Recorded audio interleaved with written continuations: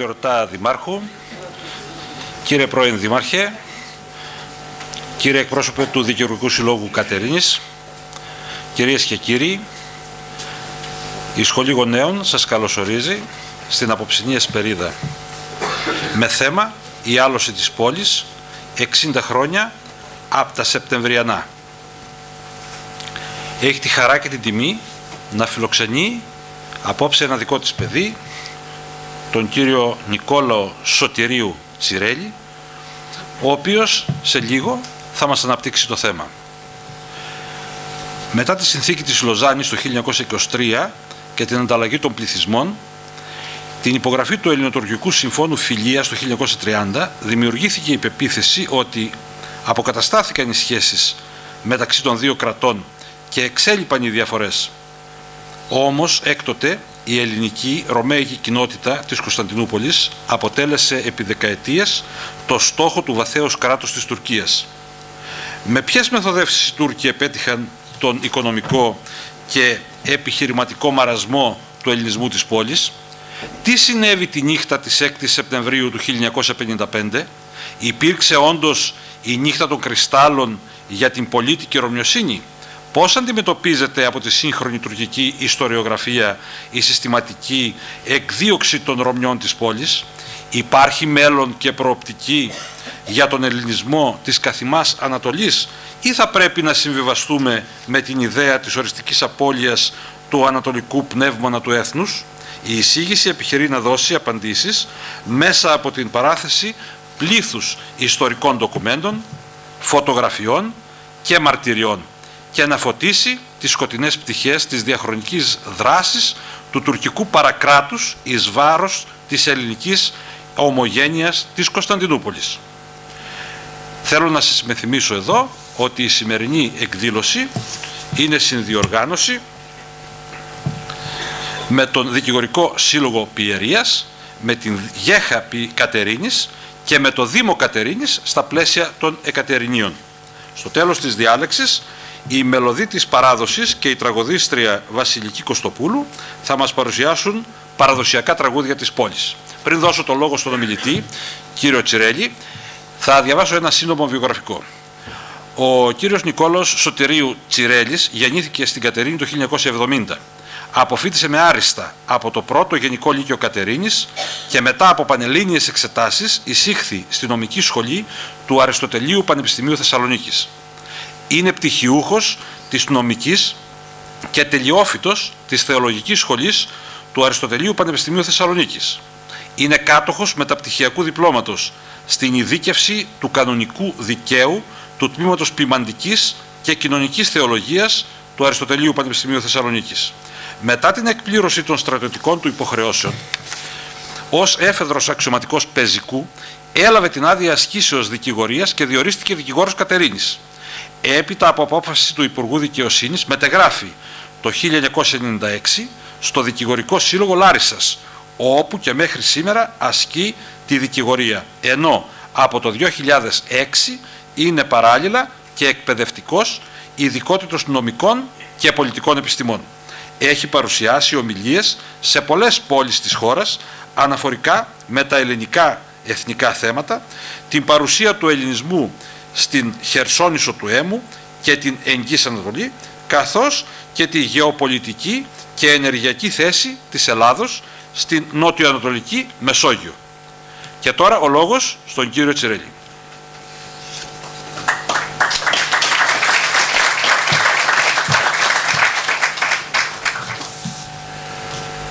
Πανωσιολογιότατε γέροντα καθηγούμενε της Εράς Μονής Αγίου Διονυσίου, κυρίες και κύριοι, Εν πρώτη, θα ήθελα να ευχαριστήσω το Διοικητικό Συμβούλιο του Σχολής Γονέων και ιδιαίτερα τον ε, Πρόεδρο, αγαπητό φίλο κύριο Κωνσταντίνο Κορομπίλη για την τιμητική πρόσκληση για αυτή την ομιλία στη σειρά των ομιλιών της Σχολής Γονέων.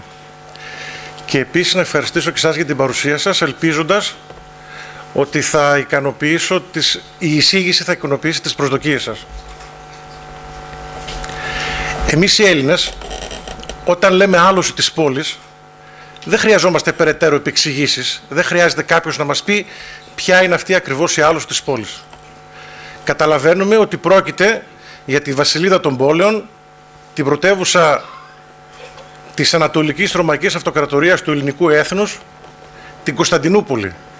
Τη μόνη πόλη στον κόσμο η οποία έμεινε γνωστή ως η πόλη, με πι κεφαλαίο. Και όταν λέμε άλωση, εννοούμε την άλωση του 1353, όπου στις 29 Μαΐου οι Οθωμανοί Τούρκοι κατέλαβαν την πόλη. Όμως η άλωση αυτή δεν ήταν ούτε η πρώτη ούτε η τελευταία άλωση της πόλης.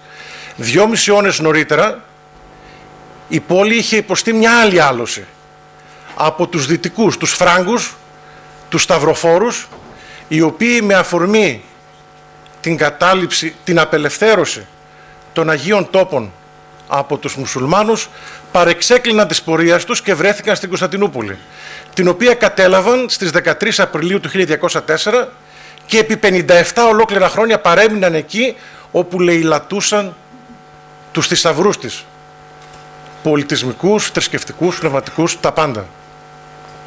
Μέχρι ότου το καλοκαίρι του 1261 ο Μιχαήλ Όγδος ο Παλαιολόγος έδιωξε τους Φράγκους και απελευθέρωσε την πόλη. Οι δύο αυτές αλώσεις έχουν ένα κοινό χαρακτηριστικό. Και στις δύο περιπτώσεις ο ελληνισμός μετά από μια μικρή κάμψη μπόρεσε και ανορθώθηκε. Μπόρεσε να προκόψει και να, να αναπτυχθεί και πληθυσμιακά και οικονομικά και πολιτισμικά.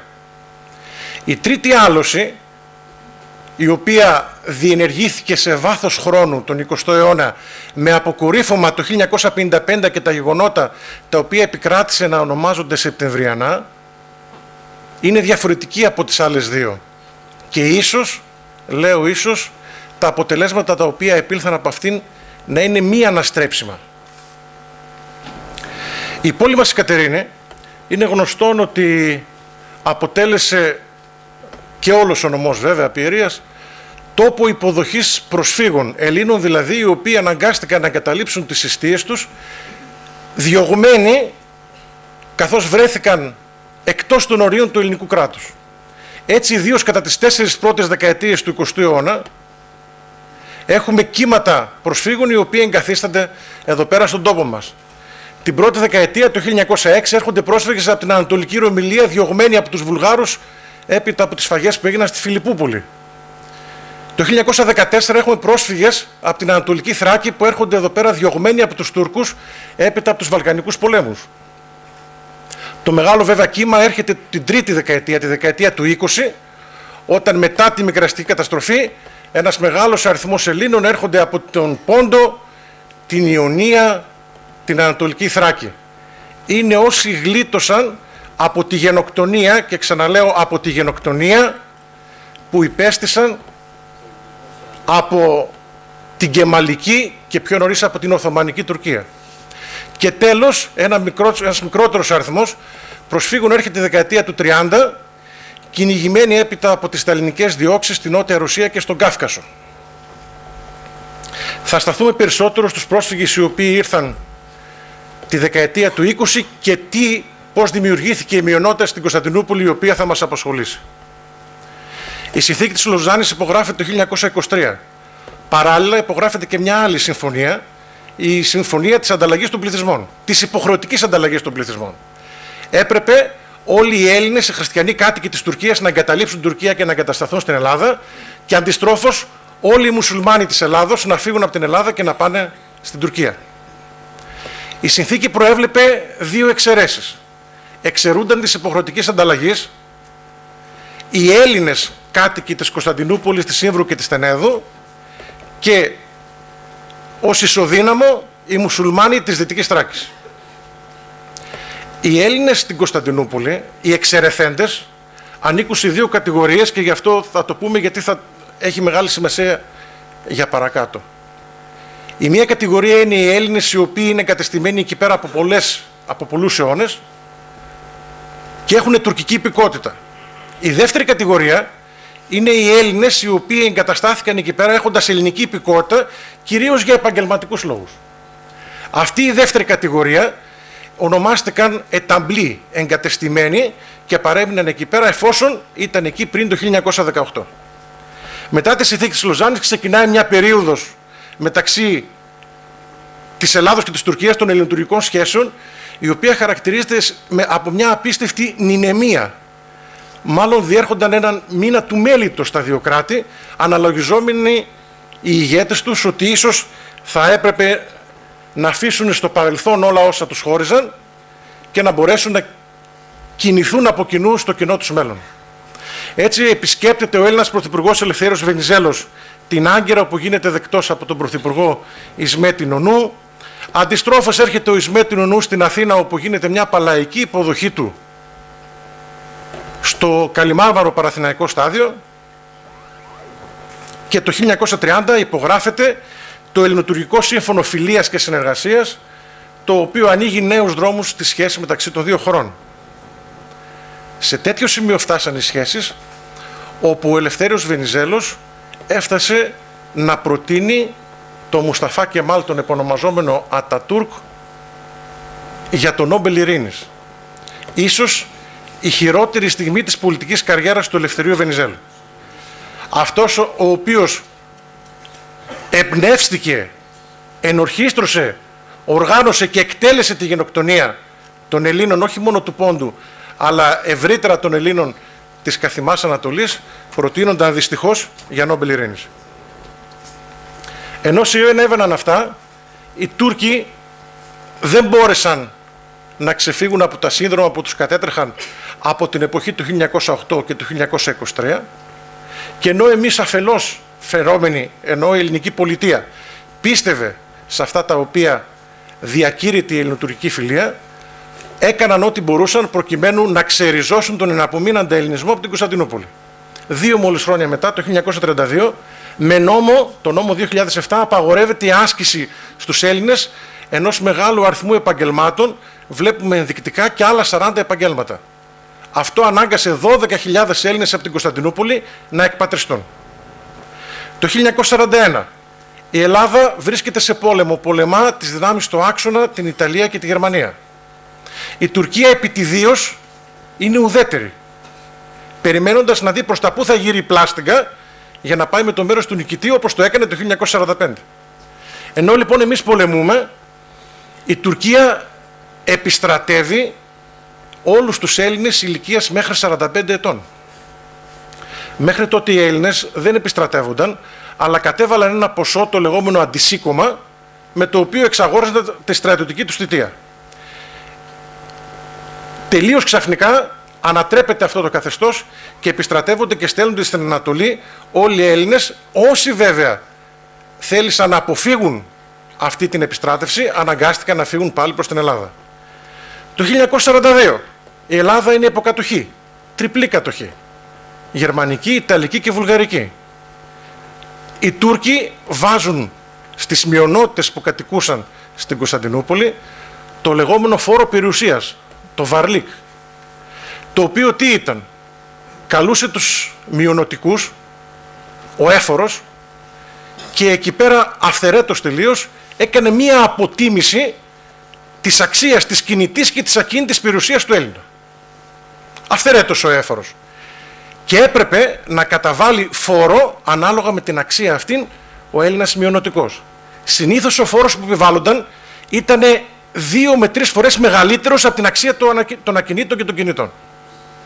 Εάν δεν επαρκούσε η αξία και δεν είχε τα χρήματα να τα καταβάλει αυτά ο Έλληνας μειονοτικός, τότε δημεύονταν η περιουσία του, οι ακίνητοι, οι δε κινητοί εκπληστηριάζονταν δημόσια. Στη φωτογραφία βλέπουμε να εκπληστηριάζονται χαλιά Ελλήνων μειονοτικών στο δρόμο. Όσοι βέβαια από αυτούς δεν είχαν τη δυνατότητα, πάλι δεν έφτανε η περιουσία, εκτοπίζονταν στα βάθη της Ανατολής. Ο χάρτης δείχνει το άσκαλε στο, με το κόκκινο, η κόκκινη κουκίδα. Εκεί τους πήγαν, στα χιονισμένα βουνά του Ερζερούν, όπου τους υποχρέωσαν να ανοίγουν δρόμους και σιδηροδρόμους. Η Ελλάδα βέβαια είναι υποκατοχή, δεν μπορεί να αντιδράσει μεγάλος αριθμός Ελλήνων αναγκάζεται πάλι να φύγει. Τελειώνει ο δεύτερος παγκόσμιος πόλεμος, τα δύο κράτη, η Ελλάδα και η Τουρκία, εντάσσονται από κοινού στο στρατόπεδο των Δυτικών, εντάσσονται στο ΝΑΤΟ το 1952, συμμετέχουν μαζί στον πόλεμο της Κορέας, μαζί με τα ανατολικά στρατεύματα και φαίνεται ότι μια καινούργια εποχή ανατέλει για τις σχέσεις των δύο κρατών. Το 1952 το βασιλικός ζεύγος, ο Παύλος και η Φιλδερίκη, κάνουν επίσημη επίσκεψη στην Τουρκία. Βλέπουμε την υποδοχή που γίνεται στο λιμάνι της Κωνσταντινούπολης, τον κόσμο ο οποίος περιμένει εκεί πέρα τους Έλληνες βασιλείς και στη συνέχεια στο κέντρο της πόλης, όπου είναι στη λιμουζίνα εκεί που, την ανοιχτή που βλέπουμε μπροστά και βέβαια η λεωφόρος του Πέραν, η Στικλάλ Καντεσί όπως λέγεται σήμερα, η οποία είναι γεμάτη από ελληνικές και τουρκικές σημαίες. Οι βασιλείς μπαίνουν στη συνέχεια στο λευκό τρένο, το τρένο του Ατατούρκ και κατευθύνονται στην Άγκυρα όπου και εκεί τους γίνεται μεγάλη υποδοχή. Η ανταπόδοση της επισκέψεως αυτής, ο πρόεδρος της Τουρκίας, ο Τζελάλ Μπαγιάρ, επισκέπτεται το 1952 την Αθήνα και στη συνέχεια κατευθύνεται στην Κομωτινή, όπου προς τιμήν του ένα σχολείο της Κομωτινής μετονομάζεται σε σχολείο Τζελάλ Μπαγιάρ. Ταυτοχρόνως και ο Πρωθυπουργός της Τουρκίας, ο Αντνάν Μεντερές, έρχεται στην Αθήνα σε επίσημη επίσκεψη και στη συνέχεια κάνει βόλτα κρουαζιέρα στο Σαρονικό. Βλέπουμε είναι έξω από τον Πόρο η φωτογραφία αυτή. Δίπλα του ήταν ο Σοφοκλής Βενιζέλος, υπουργός τότε εξωτερικών. Και για πρώτη φορά Τούρκος Πρωθυπουργός πηγαίνει και στο Πατριαρχείο. Επίσημη επίσκεψη, το Αντνάν Μεντερές, τον βλέπουμε δίπλα από τον Πατριάρχη Αθηναγόρα. Όλα αυτά μέχρι το 1955. Το 1955, 60 χρόνια από σήμερα, άλλαξαν άρδιν τα πράγματα. Αφορμή μέχρι ενός σημείου αποτέλεσε ο εθνικό απελευθερωτικός αγώνας των Ελλήνων της Κύπρου προκειμένου να αποτινάξουν το Βρετανικό ζυγό και να μπορέσουν να αποκτήσουν την ένωση με την Ελλάδα ή την, την ανεξαρτησία, το καθεστώς του ανεξάρτητου κράτους.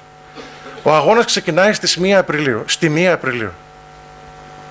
Οι Βρετανοί λίγο νωρίτερα είχαν χάσει, είχαν υποστεί μια στρατηγική ήττα στο Σουέζ. Η Αίγυπτος κατάφερε και τους έδιωξε.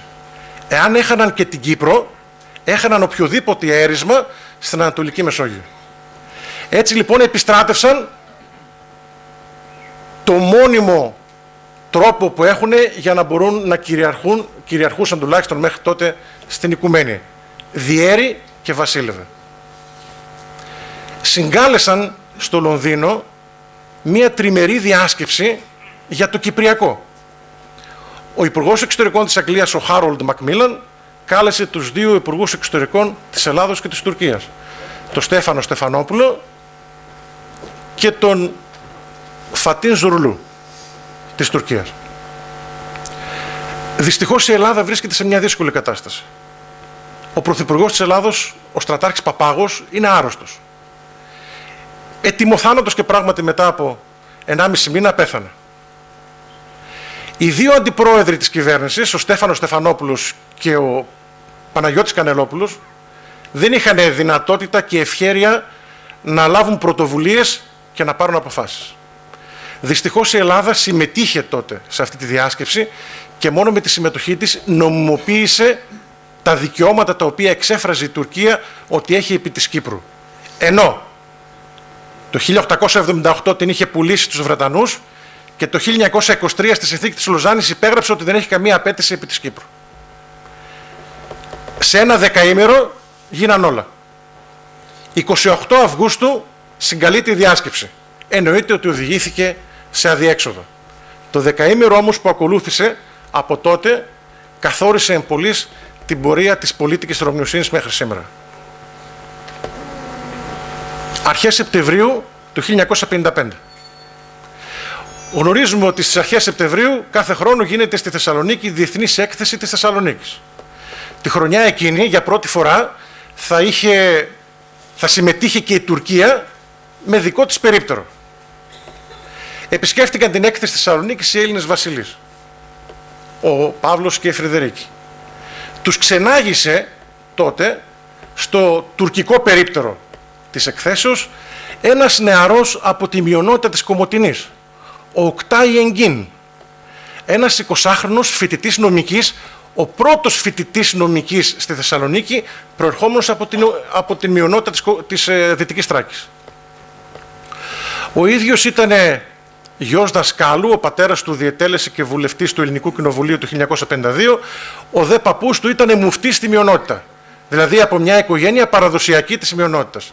Μάλιστα δε, εισήχθη στο Πανεπιστήμιο κατά πλήρη παράβαση της ισονομίας και της ισοπολιτείας, χωρίς εξετάσεις, προκειμένου να δείξει το ελληνικό κράτος ότι εμείς δεν περιορίζουμε τη μειονότητα. Τους ξεναγεί λοιπόν ο Οκτάι Εγκίν και στη συνέχεια αποχωρούν οι Βασιλείς για ένα προγραμματισμένο ταξίδι που είχαν να κάνουν τότε στη Ιουγκοσλαβία επί Τίτο. Την ίδια μέρα, στις 3 Σεπτεμβρίου, η γυναίκα του Τούρκου προξένου της Θεσσαλονίκης καλεί το γνωστό φωτογράφο Γιάννη Κυριακίδη της Θεσσαλονίκης και του λέει θέλω να μου βγάλεις κάποιες φωτογραφίες από το προξενείο. Τι ήθελε τόσο πολύ το προξενείο; Δεν ήταν τόσο το προξενείο, ήταν το γεγονός ότι μέσα στην αυλή του προξενείου υπήρχε ένα παλιό Οθωμανικό σπίτι το οποίο εφαίρετο ότι δήθεν είναι το σπίτι στο οποίο γεννήθηκε ο Κεμάλ Ατατούρκ, ο Μουσταφά Κεμάλ. Βέβαια καμία σχέση ως γνωστόν ο Μουσταφά Κεμάλ γεννήθηκε σε ένα χωριό έξω από το Λαγκαδάτε Χρυσαυγή, αλλά επειδή δεν θα τους άρεσε την ε, τουρκική προπαγάνδα να παρουσιάσουν ότι είναι ταπεινής καταγωγής, τον εμφανίζουν ότι είναι γεννημένος στη Θεσσαλονίκη. Αυτό λοιπόν το σπίτι, στην περίοδο της συνενεμία των ελληνοτουρκικών σχέσεων, η ελληνική κυβέρνηση το δόρισε στην τουρκική κυβέρνηση και ακόμη και σήμερα βρίσκεται εκεί και είναι μουσείο Ατατούρκ. Καλεί λοιπόν το φωτογράφο, βγάζει ο Κυριακίδης φωτογραφίες, τις δίνει στη γυναίκα του προξένου, αναχωρεί ο πρόξενος και η γυναίκα του, φεύγουν στην Κωνσταντινούπολη. Αυτό είναι το σπίτι για το οποίο μιλάμε. Το βράδυ της 5ης προς 6 Σεπτεμβρίου, λίγο μετά τα μεσάνυχτα, γίνεται μια έκρηξη στην αυλή του προξενείου. Αυτή η έκρηξη προκάλεσε μόνο μερικές επιφανειακές ζημιές, κάποια τζάμια δηλαδή έσπασαν από το οστικό κύμα το οποίο δημιουργήθηκε. Όμως αυτή η έκρηξη που μεταδόθηκε ταχύτατα στην Τουρκία αποτέλεσε την αφορμή για, για όλα όσα ακολούθησαν. Μια παρένθεση. Η, η έκρηξη αυτή μεταδόθηκε ραδιοφωνικά. Τη μετέδωσε και το BBC. Το BBC τη μετέδωσε μισή ώρα πριν γίνει. Δεν συντονίστηκαν καλά οι μυστικές υπηρεσίες της Τουρκίας και της Βρετανίας. Έσπευσαν και το μετέδωσαν πριν γίνει η έκρηξη. Αυτή είναι η εφημερίδα η οποία κυκλοφόρησε εκείνο το μεσημέρι σε δεύτερη έκδοση σε όλη την Κωνσταντινούπολη.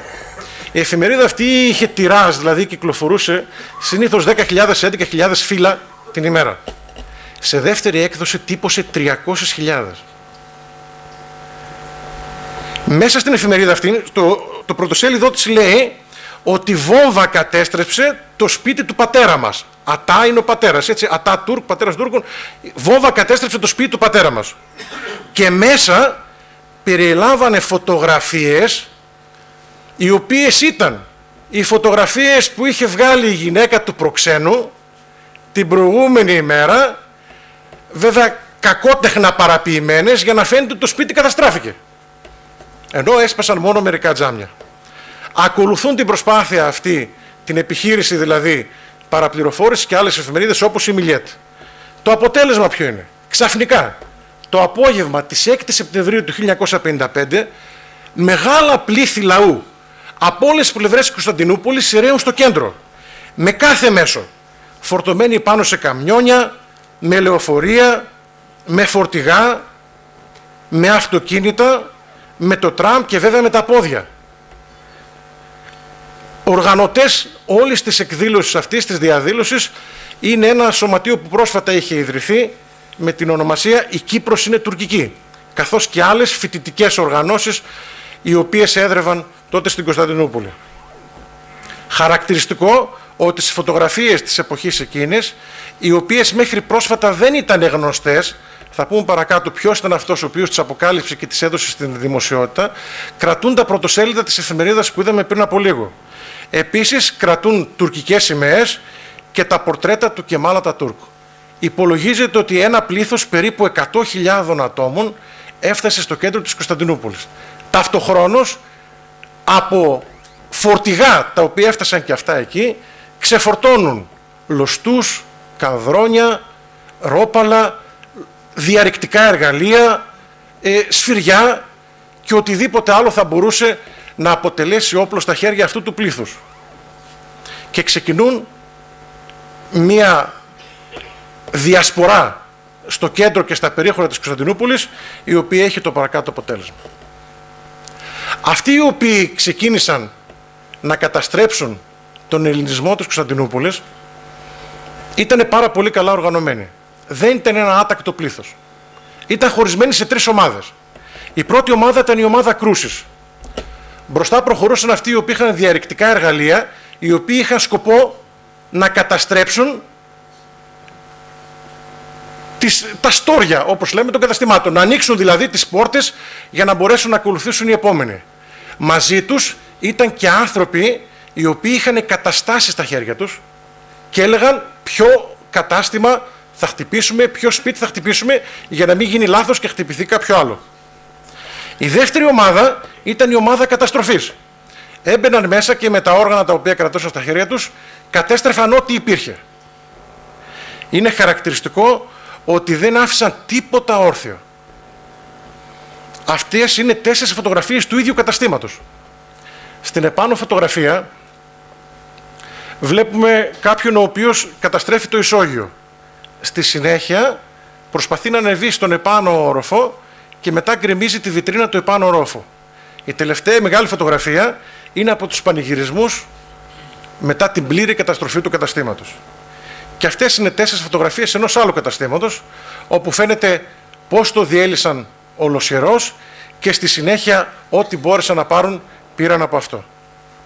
Αυτά είναι από τους δρόμους της Κωνσταντινούπολης εκείνο το βράδυ και ιδίως σε αυτή τη φωτογραφία μπορούμε να διαπιστώσουμε από τους μορφασμούς του Τούρκου που καταστρέφει τι αισθήματα έχει εκείνη την ώρα. Η τρίτη ομάδα είναι η ομάδα της λαιλασίας περνούσαν και έπαιρναν ό,τι μπορούσαν να αρπάξουν και ήταν χρήσιμο. Είναι χαρακτηριστικές κάποιες αναφορές. Βλέπουμε εδώ πέρα στην πρώτη φωτογραφία ο Τούρκος κρατάει ένα τόπι ύφασμα, ενώ στις άλλες δύο οι κυρίες χαίρονται για τις καμπαρντίνες που φοράνε, τις καινούργιες καμπαρντίνες, τις είχαν πάρει μόλις και το απόγευμα. Βέβαια, 6 Σεπτεμβρίου δεν βγαίνει κανείς με καμπαρντίνα έξω. Αναφέρει, σας λέω χαρακτηριστικά, ο Αράγκιουλέρ είναι γνωστός φωτογράφος ε, Τουρκός, ο οποίος ζούσε τα γεγονότα την εποχή εκείνη ήταν 19 χρονών, είδα λέει με τα μάτια μου ανθρώπους οι οποίοι μπαίναν μέσα στα καταστήματα, βγάζαν τα ρούχα τους και φορούσαν άλλα και φεύγανε με τα άλλα. Είδα λέει έναν ο οποίος φορούσε έξι παλτό το ένα πάνω από το άλλο. Έξι. Δεν το έφτανε ένα. Και σε μια μαρτυρία, γιατί μετά έγιναν ε, καταθέσεις ε, μαρτύρων, γιατί έγινε μια ακροματική διαδικασία και μια προανάκριση, αναφέρει μία μάρτυρας τις επόμενες μέρες λέει, που πηγαίναμε στη λαϊκή ερχόντουσαν τουρκάλες που τις ξέραμε οι οποίες δεν είχαν ούτε παπούτσια να φορέσουν οι κάλτσες ήταν τρίπιες οι κάλτσες αλλά φορούσαν πανάκριβες γούνες και έτσι πήγαιναν στη λαϊκή αγορά Πού ήταν η αστυνομία και ο στρατός; Όπου οι αστυνομικοί δεν συμμετείχαν στα γεγονότα κοιτούσαν με απάθεια. Στις φωτογραφίες βλέπουμε έστολους φαίνονται από τα καπέλα τους, ιδίως στις δύο κάτω φωτογραφίες βλέπουμε ένα φορτηγό το οποίο έφερε στρατιώτες, ένοπλοι, κρατάνε και όπλα, το οποίο μάλλον συμμετέχει στους πανηγυρισμούς. Παρά αποτρέπει αυτούς οι οποίοι κάνουν αυτές τις βιοπραγίες. Επίσης και εδώ. Κάποια στιγμή βγήκε και η έφυπη αστυνομία της Κωνσταντινούπολης η οποία και αυτή παρακολουθούσε με απάθεια όλα όσα συνέβαιναν. Η τελική φάση αφού πέρασαν οι τρεις πρώτες φάσεις της κρούσης, της καταστροφής και της λιλασίας ήταν η πυρπόληση. Αναλόγου Ανάλογα περιστατικά και γεγονότα συνέβησαν και στη Σμύρνη, αλλά ήταν πιο μικρής έκτασης. Χαρακτηριστικά να αναφέρουμε ότι στη Σμύρνη εκείνη την εποχή ήταν σε εξέλιξη η διεθνής έκθεση της Σμύρνης, όπου υπήρχε ελληνικό περίπτερο. Πήγανε πρώτα στο ελληνικό περίπτερο, το σπάσαν τελείως.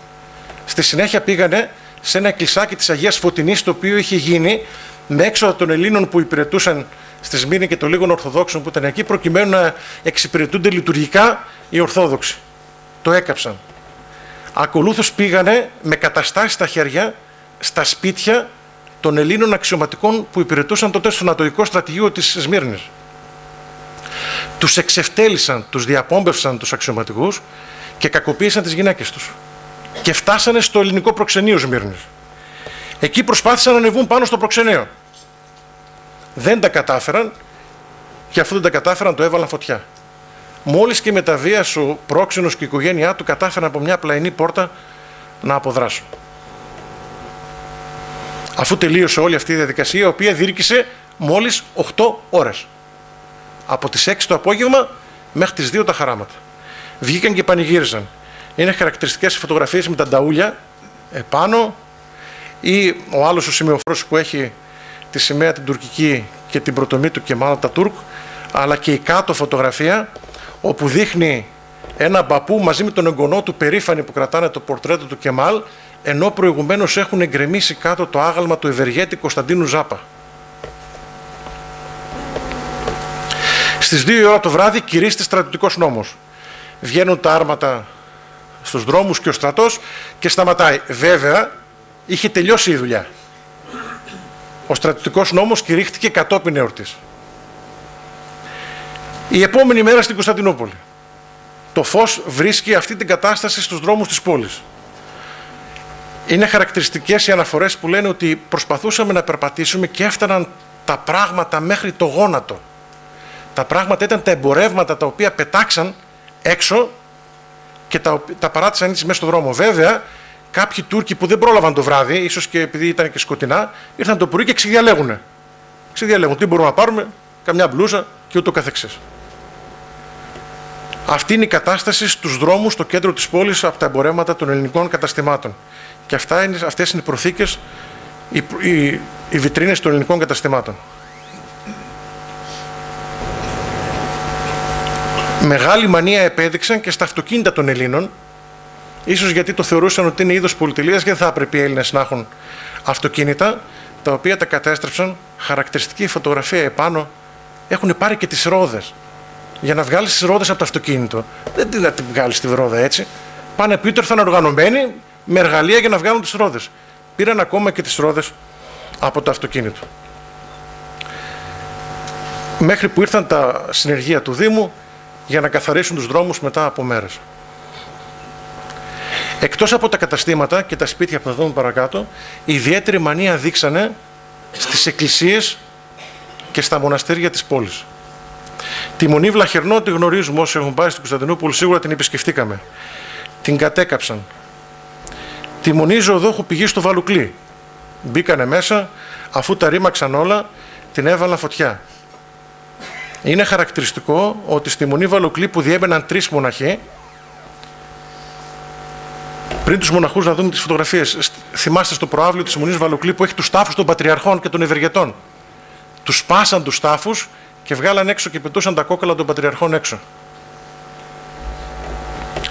Στη Μονή Βαλουκλίδη έμενε ο ηγούμενος, ο επίσκοπος Πανφίλου Γεράσιμος, τον οποίο τον ξυλοκόπησαν, τον έστειλαν στο νοσοκομείο, ο νεαρός τότε διάκονος Ευάγγελος Μαστοράκης και ένας αρχιμαδρίτης 90 χρονών ο Χρήσανθος Μαντάς. Η εντολή που είχαν λάβει από τους διοργανωτές των επεισοδίων, των γεγονότων, αυτοί οι οποίοι ήταν οι θύτες, ήταν να μην σκοτώσετε. Δεν θέλαν να σκοτώσουν. Γιατί γνώριζαν ότι εάν υπήρχαν θύματα θα κινητοποιούνταν ευκολότερα η διεθνή κοινή γνώμη. Μόνο καταστρέψτε.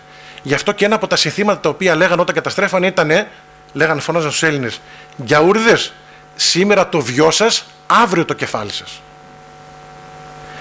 Είναι χαρακτηριστικό λοιπόν ότι ο Χρήσανθος Μαντάς, ο 90 χρονών ιερομόναχος της Μονής Βαλουκλή, δεν άντεξε από το ξυλοδαρμό που υπέστη εκεί και εξέπνευσε.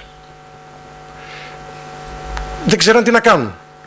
Πήραν και τον βάλαν φωτιά το πτώμα του και για να το εξαφανίσουν μετά το έριξαν μέσα σε ένα πηγάδι. Επιμέρες ψάχναν να βρουν πού είναι ο Χρήσαντος Μαντάς, το θεωρούσαν αγνοούμενο, αγνοούμενο και κάποια στιγμή αποκαλύφθηκε ότι ήταν μέσα στο πηγάδι. Η Αγία Τριάδα Ταξίμ είναι μια εκκλησία στην αρχή της λεωφόρου της ανεξαρτησίας, νομίζω ότι, στο, του πέραν δηλαδή, νομίζω ότι όλοι έχουμε περάσει από εκεί, πώς ήταν και πώς την έκαψαν και μερικά ακόμη χαρακτηριστικά από άλλες εκκλησίες, ιδίως για την Αγία Τριάδα, είχε οργανωμένο ιατρείο και φαρμακείο, το οποίο εξυπηρετούσε αδιακρίτως και χριστιανούς και μουσουλμάνους.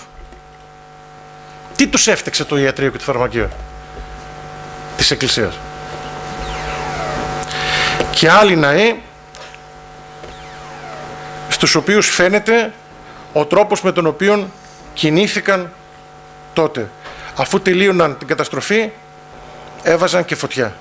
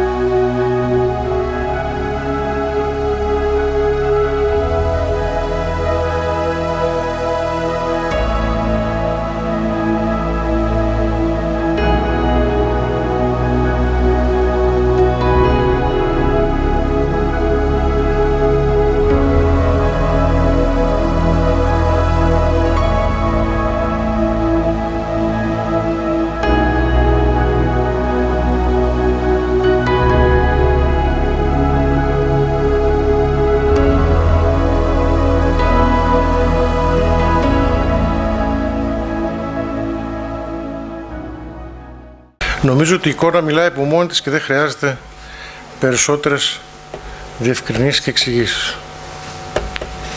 Αφού τελείωσαν με τα σπίτια, τα καταστήματα, τις εκκλησίες, πήγαν στα νεκροταφεία.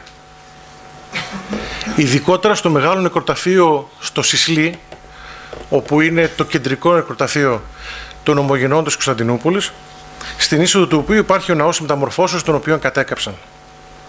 Στη συνέχεια μπήκαν μέσα, έσπασαν τους σταυρούς, έσπασαν τα μάρμαρα τους τάφους, ανοίξαν τάφους και βγάλαν έξω τα κόκαλα των πεθαμένων. Το φέρετρο αυτό είχε μέσα τη σωρό του Κωνσταντίνου Ηλιάσκου. Ο Κωνσταντίνος Ηλιάσκος ήταν Κωνσταντινουπολίτης, ο οποίος διακρίθηκε για τις σπουδές του και έφτασε να γίνει μέχρι πρόεδρος της Εθνικής Τράπεζας της Ελλάδος, στην Αθήνα. Έξαφνα εκοιμήθη στην Αθήνα και ζήτησε να ταφεί στον οικογενειακό τάφο στην Κωνσταντινούπολη. Μεταφέρεται το φέρετρο και πριν γίνει η κηδεία συμβαίνουν τα γεγονότα τα Σεπτεμβριανά. Ανοίξαν το φέρετρο και με μαχαίρια, ξυμφολόχες, σουγιάδες χτυπούσαν τη σωρό του Ηλιάσκου. Ταυτοχρόνως κατευθύνθηκαν σε φρέσκους, ε, σε φρέσκες ταφές, φαινόταν κιόλας γιατί δεν είχαν γίνει ακόμα το μαρμάρινο μνήμα, βγάλαν τα χώματα, βγάλαν τα φέρετρα έξω και λόγχιζαν τις ορούς. Είναι χαρακτηριστική η περίπτωση που μνημονεύεται από κάποιον από τους μάρτυρες που λέει ότι ένα κοριτσάκι 9 χρονών το βγάλαν έξω, πεθαμένο, και με ξεφολόκες βγάλαν τα μάτια.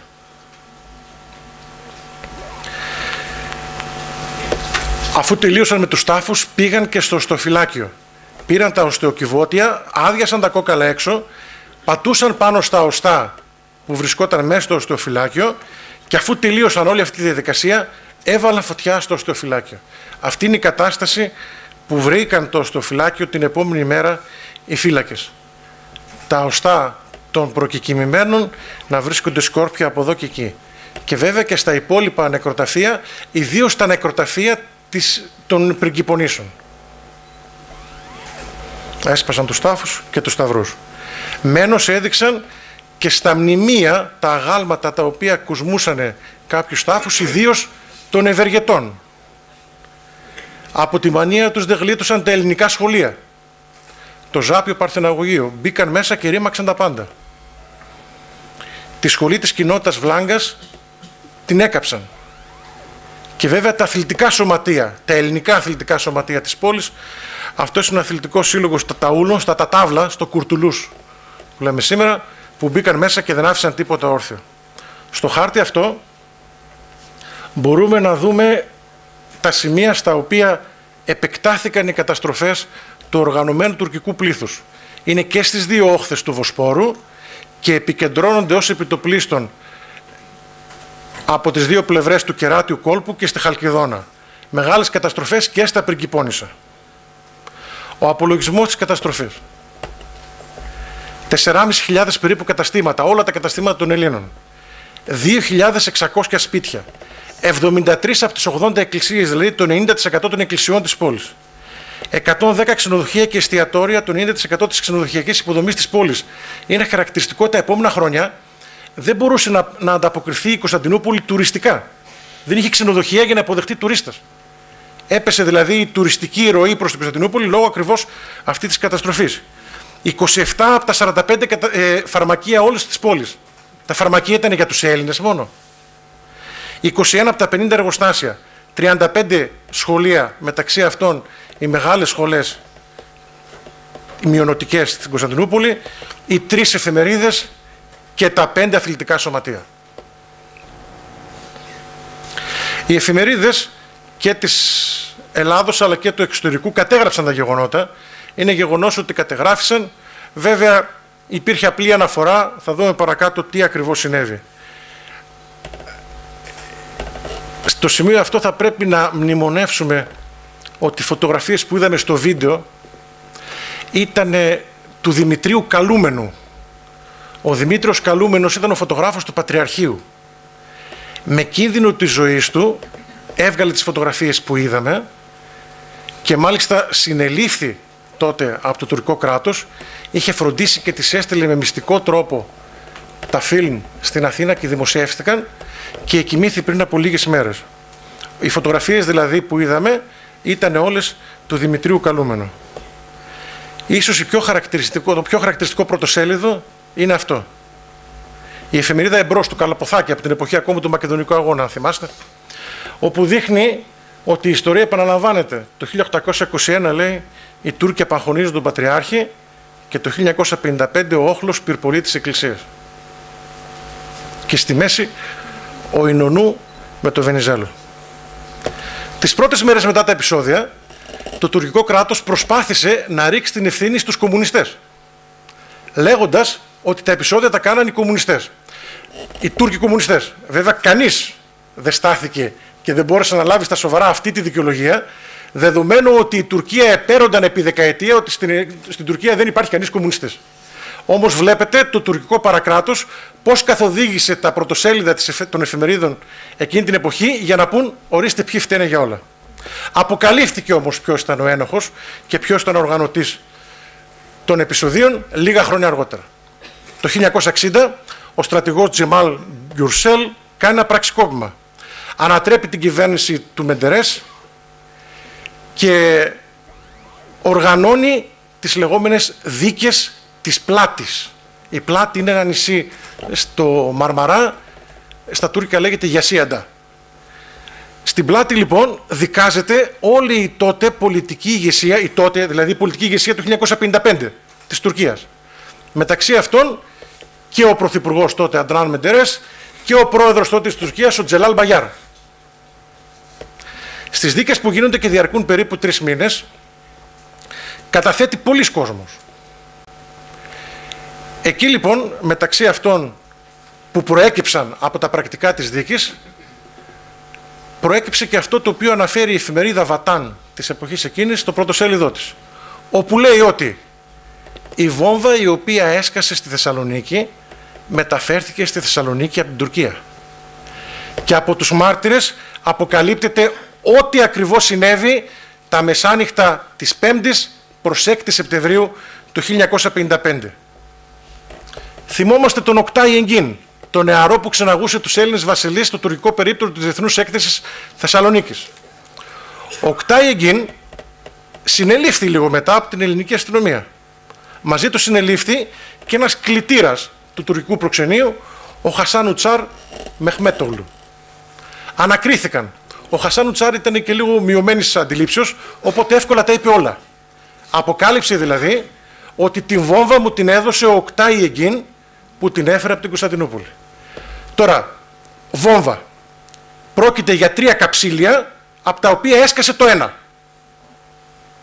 Οι Τούρκοι βέβαια έπρεπε να μεγαλοποιήσουν το γεγονός προκειμένου να έχουν τη λεγόμενη αφορμή για να προχωρήσουν σε όλα αυτά τα γεγονότα και καταστροφές τις οποίες ήταν προηγουμένως. Κρατήθηκαν για ένα χρονικό διάστημα και οι δύο στις φυλακές ορίστηκε δικάσιμος, αποφυλακίστηκαν με εγγύηση, τους απαγορεύτηκε η έξοδος από τη χώρα, αλλά και οι δύο φύγαν από τη χώρα. Μάλιστα δε, ο Οκτάι Εγκίν έφυγε κρυμμένος στο πόρτ μπαγκάζ του αυτοκινήτου του Τούρκου προξένου της Θεσσαλονίκης και στη συνέχεια διέγραψε μια λαμπρή πορεία και καριέρα στην Τουρκία.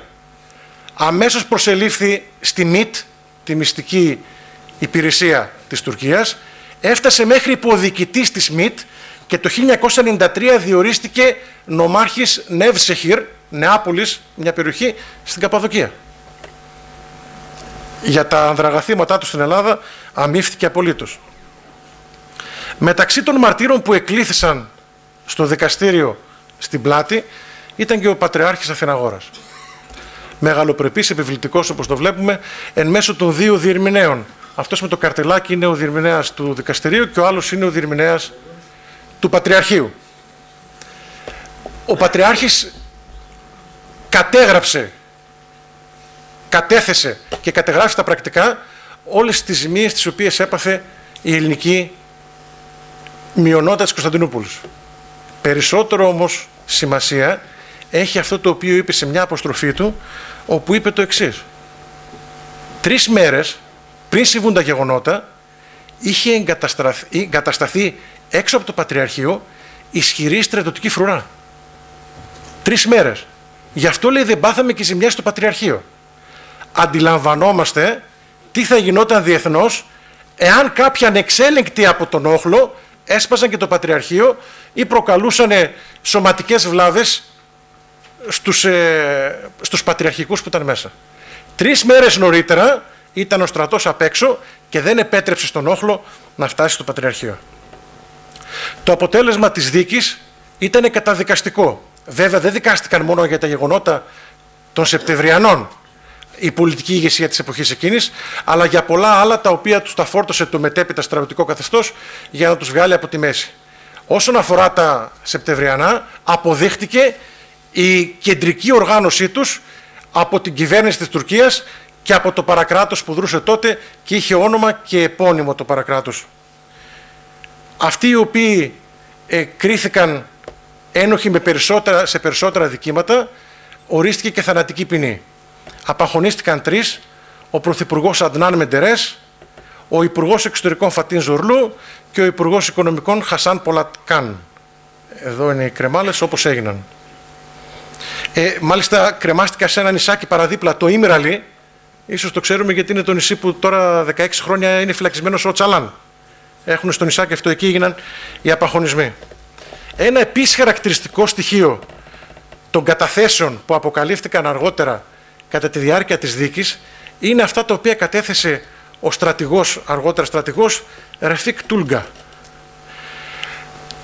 Αυτό το σημειώνουμε για να πάμε στο επόμενο βήμα της τουρκικής, των τουρκικών ε, ε, έργων του τουρκικού παρακράτους. Καταθέτει λοιπόν ο Τούλγκα ότι οι καταθέσεις γίνονται το 60. Το 57, μετά τα Σεπτεμβριανά, χαιρετάω τον πρόεδρο Τζελάλ Μπαγιάρ και του λέω φεύγω στην Νάπολη που με έστειλε η υπηρεσία να υπηρετήσω και στο ΝΑΤΟ. Του λέει ο Τζελάλ Μπαγιάρ, πήγαινε και πες στους Αμερικανούς ότι είμαστε αποφασισμένοι να πάρουμε σκληρά μέτρα κατά των νομιών της πόλης και περισσότερο για τους 30.000 Έλληνες υπηκόους που διαθέτουν περιουσίες και το Πατριαρχείο. Θα τους πετάξουμε έξω από τη χώρα και θα λάβουμε σκληρά μέτρα εναντίον τους. Αυτά το 1957. Πράγματι, το 1964 έφτασε η ώρα, δεν ήταν βέβαια ο Τζελάλ Μπαγιάρα αυτός που το εφήρμοσε, ήταν ο Ισμέτ Νου, ο οποίος ξανακέρδισε τις εκλογές, ο οποίος εφήρμοσε το τελειωτικό χτύπημα που εξολόθρευσε πληθυσμιακά τουλάχιστον τον ελληνισμό της πόλης.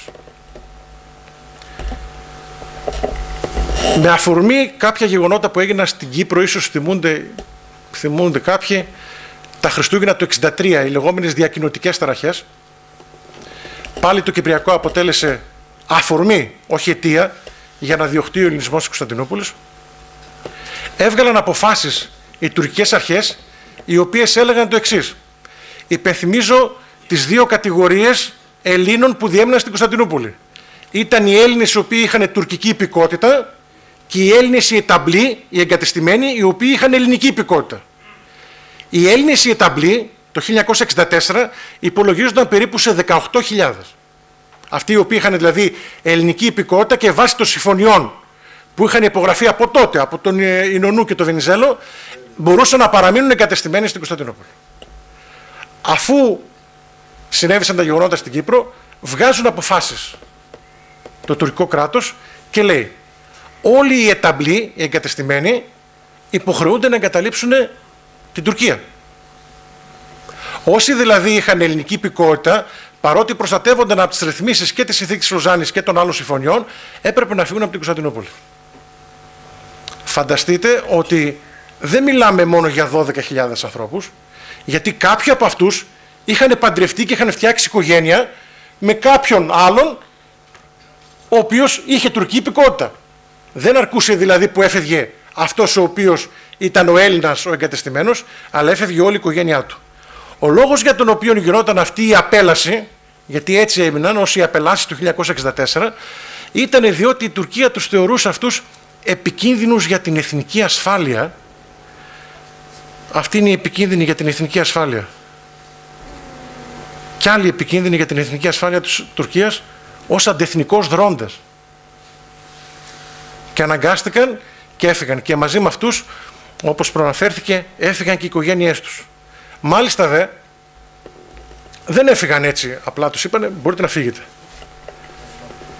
Είτε τους καλούσαν στο αστυνομικό τμήμα, είτε τους επισκέπτονταν η αστυνομία στο σπίτι. Θυμίζω ότι μια παρόμοια σκηνή η οποία είχε προβληθεί τότε στην ταινία «Η πολίτικη κουζίνα» έχει ιστορικό υπόβαθρο.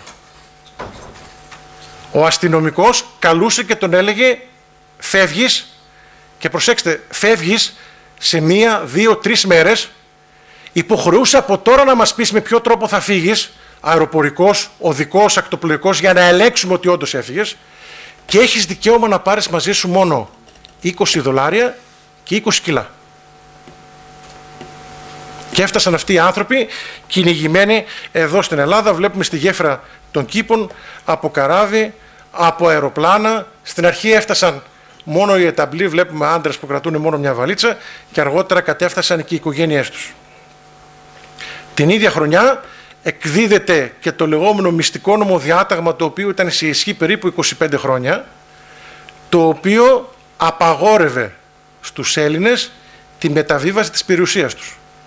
Τους είχε αποκλείσει ακόμη και το απόλυτο δικαίωμα, το κληρονομικό. Δεν μπορούσαν τα παιδιά τους να κληρονομήσουν την περιουσία των πατεράδων τους, η οποία παρέμενε έτσι σε κρεμότητα και στη συνέχεια περνούσε στην κυριότητα του ελληνικού κράτους. Από τότε μέχρι σήμερα, τότε ουσιαστικά ήταν η μεγάλη έξοδος του ελληνισμού και μέχρι σήμερα το τουρκικό κράτος με κάθε τρόπο προσπαθεί να πολεμήσει τους εναπομείναντες Έλληνες εκεί. Οι εφημερίδες και τα, το Φέι Βουλάν της εποχής εκείνης λέει «Πατριώτη, μην αγοράζει από τους Έλληνες. Αν αγοράζει από τους Έλληνες, τα λεφτά σου γίνονται σφαίρες και πάνε στην Κύπρο για να σκοτώσουν τους αδερφούς μας». Μερικά συμπεράσματα σύντομα και μετά θα δούμε τις πρόσφατες εξελίξεις τι, συνέβη, τι συμβαίνει σήμερα. Από το αρχείο του Ναβάρχου Φαχρή Τσόκερ και τα αρχεία των Υπουργείων Εξωτερικών διαφόρων χωρών πληροφορούμαστε ότι τα γεγονότα οργανώθηκαν από το στρατό, την αστυνομία και τις οργανώσεις που ιδρύθηκαν και ενισχύθηκαν από το κράτος. Ο όρος βαθύ κράτος, εάν είχε ανακαλυφθεί τότε, οπωσδήποτε θα είχε χρησιμοποιηθεί για αυτή την ομάδα που οργάνωσε τα γεγονότα. Η Κυπριακή κρίση και η δίθεν τοποθέτηση βόμβας στο φερόμενο σπίτι του Μουσταφά Κεμάλ χρησιμοποιήθηκαν ως αφορμή για τα γεγονότα. Γιατί αποκαλύφθηκε ότι πολύ πριν την εντός αγωγικών έκρηξη είχαν οργανωθεί όλα. Το πλήθος υποκινήθηκε από την τουρκική ελίτ η οποία χρησιμοποίησε τη θρησκεία σαν όχημα για την εκπλήρωση των σκοπών της. Η καταστροφή ολοκληρώθηκε με εμφανείς τις οικονομικές και ηθικές συνέπειες της μειονότητας. Οι συμμετέχοντες στα γεγονότα δεν ήταν μόνο στοιχεία του υποκόσμου και λούμπεν προλετάρι, αλλά συμπεριλάμβαναν ανθρώπους μεσαίας τάξης και γυναίκες μέσης ηλικίας, καθώς φαίνεται ότι είχε χαρακτήρα σύγκρουση μεταξύ τάξεων και γεννών. Τα Σεπτεμβριανά εντάσσονται σε μια σειρά μέτρων που εφάρμοσε η Άγκυρα στα πλαίσια της οικονομικής, πολιτικής και εθνικής ομογενοποίησης της τουρκικής κοινωνίας, στοχεύοντας παράλληλα στη δημιουργία μιας τουρκικής αστικής τάξης. Στόχος η οικονομική καταστροφή των μειονοτήτων, αυτή την ομογενοποίηση την επιδιώκουν οι Τούρκοι από το 1908 με την επανάσταση των Νεοτούρκων με το δίθεν σύνθημα περί ισονομίας και ισοπολιτείας ότι το Κομιτάτο Ένωσης και Πρόοδος όπως λεγόταν τότε θα φέρει την ισονομία μεταξύ των μειονοτήτων στην πραγματικότητα θέλει να φτιάξει ένα κράτος το οποίο θα κατοικούν μόνο Τούρκοι, μουσουλμάνοι. Όλοι οι άλλοι ήταν ανεπιθύμητοι. Άργησε να το πετύχει, το πέτυχε μετά την παρέλευση ορισμένων δεκαετιών. Η βία εκδίωξη των Ελλήνων και Αρμενίων κατά τη διάρκεια της περίοδου 1916-23 επέτρεψε στη στρατογραφειοκρατική ελίτ να αποκτήσει μεγάλο μέρος στον πολιτικό και οικονομικό έλεγχο της χώρας, όχι όμως πλήρως. Έδιωξε τότε πολλούς, αλλά δεν απέκτησε πλήρως τον έλεγχο. Με τα Σεπτεμβριανά πλέον συντελείται η ολοκλήρωση αυτής της διαδικασίας, δηλαδή της πλήρους τουρκοποίησης της οικονομίας. Φανταστείτε, όλα αυτά τα καταστήματα που καταστράφηκαν δεν αποκαταστάθηκαν. Πέρασε δηλαδή το εμπόριο στα χέρια των Τούρκων. Αυτό το οποίο δεν μπορούσαν να το κάνουν με ομαλές συνθήκες οικονομίας, το πέτυχαν μέσω από αυτές τις καταστροφές τις οποίες έκαναν. Τα γεγονότα της 6η Σεπτεμβρίου δεν προκάλεσαν μόνο εκτεταμένη ηλική καταστροφή, αλλά συνάμα δημιούργησαν έντονη ασφάλεια στους κύκλους των Ρωμιών, οι οποίοι απογοητευμένοι από τη στάση του τουρκικού κράτους δεν εμπιστεύονταν το κρατικό οικοδόμημα. Ένιωθαν πλέον πολίτες δεύτερης κατηγορίας. Τα Σεπτεμβριανά ήθελαν να δείξουν ότι πλέον δεν υπήρχε η έστω και κατ' επίφαση ανοχή προς τις μη μουσουλμανικές μειονότητες, που εξάλλου είχαν ήδη εξωστρακιστεί σε μεγάλο βαθμό. Η τριπλή επίθεση και πώς ερμηνεύεται. Είπαμε, δεν θέλαν να σκοτώσουν. Οι επιθέσεις κατά των εκκλησιών, που αποτελούν το στοιχείο της θρησκευτικής αυτυπαρξίας της κοινότητας, δείχνουν ότι επιδιώκεται με τον τρόπο αυτό η βίαιη διακοπή του νήματος μεταξύ ζωής και θανάτου. Η διαπίστωση του μικρού αριθμού φόνων, αλλά του πολύ μεγάλου αριθμού βιασμών. Δηλώθηκαν 200 βιασμοί, υπολογίζεται ότι έγιναν πάνω από 2.000, οι οποίοι δεν δηλώθηκαν για ευνόητους λόγους. Δείχνει την αντίληψη του κυρίαρχου στοιχείου ότι θέλει να βεβηλώσει το σύνολο της μειονότητας μέσω του γυναικείου σώματος. Και τρίτον, οι επιθέσεις προς τα νεκροταφεία. Και η βεβήλωση της ερώτητάς τους έχουν σκοπό την εξαφάνιση της ιστορικής συνέχειας της ομάδος, της οποίας το μέλλον τίθεται σε αμφισβήτηση. Δεν έχετε πλέον δηλαδή νεκρούς, δεν σας κρατάει τίποτα στον τόπο. Και δύο συμπεράσματα από πλευρά της Ελλάδος. Η Ελλάδα βρέθηκε πολιτικά ακέφαλη, είπαμε ο Παπάγος ήταν ασθενής, πέθανε 4 Οκτωβρίου, δηλαδή μετά ούτε ένα μήνα και οι αντιπρόεδροι δεν μπορούσαν να αντιδράσουν. Βρέθηκε πολιτικά ακέφαλη όταν συνέβησαν τα Σεπτεμβριανά οργάνωσε αρκετά επιτυχημένα την εκστρατεία ενημέρωσης της διεθνούς κοινής γνώμης για τις καταστροφές. Πράγματι, γράφτηκαν και στον ξένο τύπο και δημοσιεύτηκαν και φωτογραφίες και του καλούμενου, αλλά απέτυχε να πιέσει αποτελεσματικά την τουρκική κυβέρνηση για την παροχή αποζημιώσεων στους πληγέντες. Υπολογίζεται ότι οι αποζημιώσεις που πήραν οι Έλληνες ομογενείς ήταν περίπου το 1 έως 2% της πραγματικής αξίας των ζημιών. Μάλιστα δε, τα πήραν αρκετά αργότερα, με αποτέλεσμα, όπως θα θυμάστε, η τουρκική λίρα είχε μια συνεχή πορεία ραγδαίας τιμαριθμοποίηση, σε ένα πληθωρισμό απίστευτο. Όταν τελικά πήραν τις αποζημιώσεις, δεν είχαν καθόλου αξία τα χρήματα τα οποία τους έδωσαν. Επιτυχημένη όμως ήταν από την πλευρά της Ελλάδος η αποφυγή επιβολής αντιπίνων εις βάρος της μουσουλμανικής μειονότητας στη Θράκη που καταδεικνύει μια ριζικά διαφορετική αντίληψη στον τομέα προστασίας των ανθρωπίνων δικαιωμάτων μεταξύ της Ελλάδας και της Τουρκίας. Θα μπορούσε να πει κανείς, γιατί δεν κάναμε κι εμείς τα ίδια στη Θράκη; Ε, γιατί δεν είμαστε το ίδιο; Ποιες πρέπει να είναι οι ενέργειες της Τουρκίας; Με αφορμή την 60η επέτειο Σεπτεμβριανό του 1955, η Τουρκική Εθνοσυνέλευση να θέσει στην ημερησία διάταξή της την καταδίκη των γεγονότων και την έκφραση αλληλεγγύης προς τη Ρωμαϊκή κοινότητα και τις άλλες μη μουσουλμανικές κοινότητες. Εννοείται τους Αρμένιους και τους Εβραίους, οι οποίοι και αυτοί υπέστησαν καταστροφές. Να προβεί η τουρκική πολιτεία σε μέτρα αποκατάστασης και θεραπείας προς τη Ρωμαϊκή κοινότητα της πόλης, της Σύμβρου και της Στενέδου, ώστε να συνεχίσει την ιστορική της παρουσία ως μία από τις αρχαιότερες κοινότητες της χώρας να ανεγερθεί ένα μνημείο στην περιοχή του Πέραν, το οποίο θα θυμίζει εκείνη την τραγική για τη μειονότητα νύχτα. Να εκφραστεί μια συμβολική συγγνώμη, δεν αρκεί συμβολική, χρειάζεται και συγκεκριμένη απτή συγγνώμη, που ηθικά μπορεί να απαλύνει τις μνήμες και τις ψυχές των ανθρώπων το τραύμα της περίοδου εκείνης.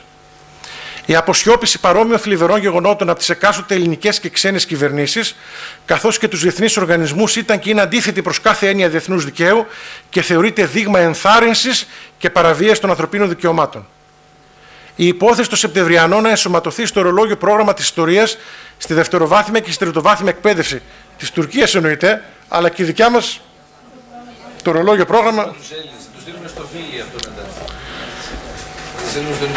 Η πολιτική της διαφώτισης βοηθάει στη διαμόρφωση υγιών δυνάμεων που τελικά θα επιβάλλουν την εφαρμογή των κανόνων του δικαίου. Παράλληλα συμβάλλει ώστε οι νέες γενιές των Τούρκων να συνειδητοποιήσουν τις αυθαιρεσίες των παλαιότερων σε βάρος των μειονοτήτων.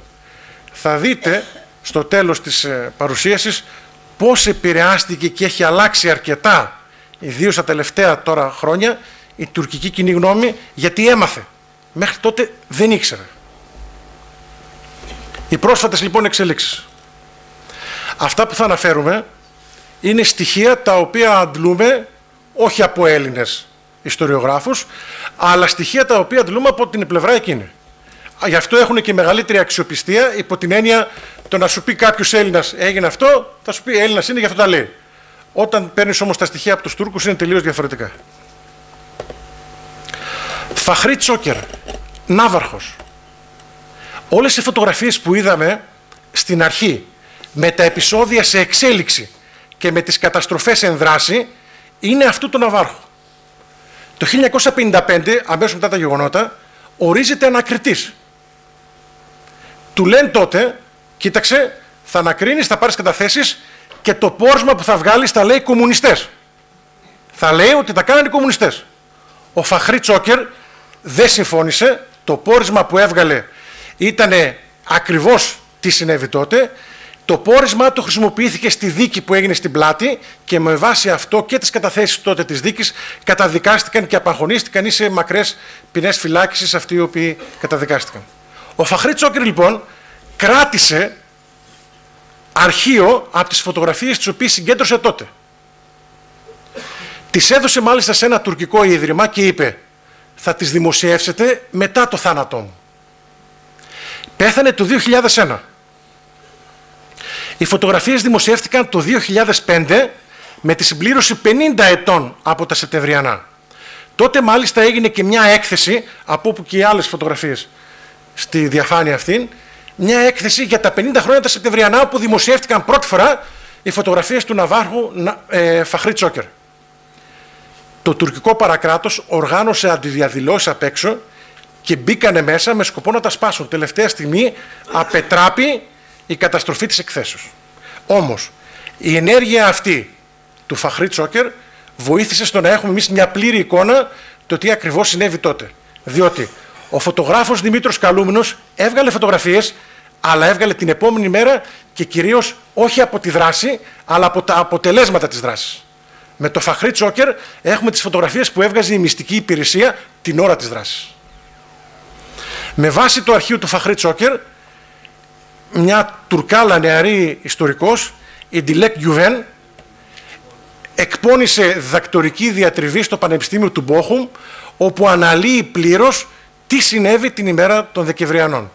Αυτός είναι ο τίτλος του βιβλίου, όπως δημοσιεύτηκε η διατριβή της, η οποία στηρίζεται στο αρχείο Φαχρή Τσόκερ. Όχι μόνο στις φωτογραφίες, αλλά και στα έγγραφα τα οποία είχε ο Ναύαρχος. Μετά την ε, Γιουβέν και άλλοι τόλμησαν να εκδώσουν βιβλία στα οποία να περιγράφουν το τι συνέβη τη νύχτα εκείνη. Ο Σαμπρί Γερμιμπέσογλου ήταν διοικητής της Διεύθυνσης Ανορθόδοξου Πολέμου της Τουρκίας. Αυτός λοιπόν, σε μια συνέντευξή του, λέει τα εξής. Τα γεγονότα της 6-7 Σεπτεμβρίου ήταν δουλειά της Διεύθυνσης Ανορθόδοξου Πολέμου. Είναι η ονομασία που είχε το βαθύ κράτος πριν ονομαστεί βαθύ κράτος. Η Διεύθυνση Ανορθόδοξου Πολέμου. Και επαιρόμενος συνεχίζει. Ήταν μια εξαιρετική και πολύ καλά οργανωμένη ενέργεια και πέτυχε το στόχο της. Ο ίδιος, ο στρατηγός αυτός, στο δίκτυο, στο τουρκικό δίκτυο Χαμπέρτουρκ, λέει στις ειδικές επιχειρήσεις υπάρχει ένας κανόνας. Για να ενισχύσει το αντιστασιακό φρόνημα του λαού, κάνεις δολιοφθορές σε συμβολικούς στόχους, δίνοντας την εντύπωση ότι πρόκειται για έργο του εχθρού. Για παράδειγμα, βάζεις φωτιά σε ένα τζαμί. Εμείς κάψαμε τζαμιά στην Κύπρο. Αν συνέχιζε θα έλεγε, εμείς βάλαμε τη βόμβα στο τουρκικό προξενείο. Το 2008 η Τουρκία συνταράσσεται από το σκάνδαλο Εργενεκών. Η Εργενεκών ήταν μια μυστική οργάνωση η οποία, στην οποία συμμετείχαν εν ενεργεία και απόστρατοι στρατηγοί Μάλιστα δεν είναι χαρακτηριστικό ότι συνεδρίαζαν, οι συνεδριάσεις της γίνονταν μέσα σε έναν ελληνικό ναό. Στην Παναγία την Καφατιανή. Είναι ένας, λαός, ένας ναός στο Γαλατά. Είναι ένας από τους τρεις ναούς που έχουν αρπάξει οι λεγόμενοι τουρκορθόδοξοι με τον ψευδοπατριάρχη τον Παπαευθύμ και ακόμη και σήμερα τον κατέχουν τον ναό αυτό.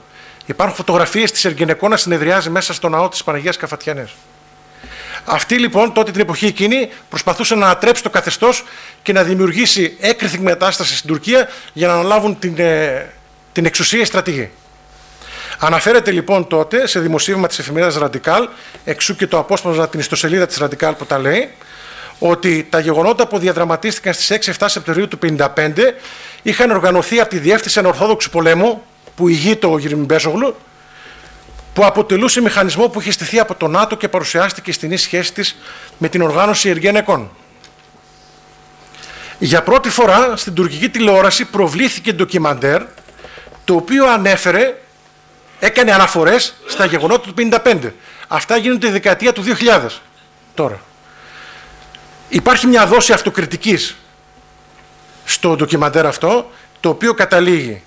Εκείνη η νύχτα ήταν μία από τις πιο επονίδιστες στοιχές της σύγχρονης τουρκικής ιστορίας. Στο ντοκιμαντέρ εκείνο, μεταξύ αυτών που μιλούν, είναι και ο Αϊντίν Μεντερές, ο γιος του Αντνάν Μεντερές, του τότε Πρωθυπουργού και αργότερα απαχωνιστέντος, ο οποίος δηλώνει στο ντοκιμαντέρ. Το βαθύ κράτος διέπραξε τα γεγονότα, φιλοδοξώντας να εξαλείψει τις μειονότητες από την Κωνσταντινούπολη. Όλα αυτά βοήθησαν ώστε να ξυπνήσει η τουρκική κοινή γνώμη και γι' αυτό τα τελευταία χρόνια στις 6 Σεπτεμβρίου γίνονται άλλου είδους διαδηλώσεις υποστήριξης της αναγνώρισης της, των γεγονότων των Δεκεμβριανών όπως βλέπουμε είναι από διάφορες χρονιές, δεν από το ίδιο έτος αυτές οι συγκεντρώσεις όπου γράφουν σε πολλές γλώσσες στα ελληνικά, στα αρμένικα, στα ισπανικά, στα τουρκικά βέβαια ότι δεν ξεχάσαμε τα Σεπτεμβριανά. Περισσότερο όμως από όλα επηρέασε την τουρκική κοινή γνώμη ένα βιβλίο το οποίο, το οποίο αργότερα έγινε και ταινία. Το βιβλίο είναι στην Ελλάδα ε, μεταφράστηκε με τον τίτλο «Φθινοπορεινός πόνος». Το έγραψε ο Γιλμάς Καρακιογιόνουγλου, ο οποίος ήταν βουλευτής του κόμματος της Μητέρας Πατρίδας και για ένα διάστημα διετέλεσε και υπουργός επικρατείας στην κυβέρνηση Τζεβίτ. Αυτός λοιπόν μέσα γράφει τι συνέβη με μυθιστηρηματικό τρόπο τα Σεπτεμβριανά. Αργότερα μια τουρκάλα σκηνοθέτης, η Τομρή Γκυριτλίογλου, το έκανε ταινία. Η ταινία κυκλοφόρησε και στην Ελλάδα με τον τίτλο «Πληγές του φθινοπόρου». Στην ταινία αυτή, η οποία κυκλοφόρησε στην Τουρκία ε, τον Ιανουάριο του 2009 και στην Ελλάδα λίγο αργότερα. Είναι ένα μικρό εξάλεπτο απόσπασμα από την ταινία αυτή, το οποίο δείχνει όλα όσα είπα μέχρι τώρα και τι ακριβώς έγινε εκείνη τη νύχτα.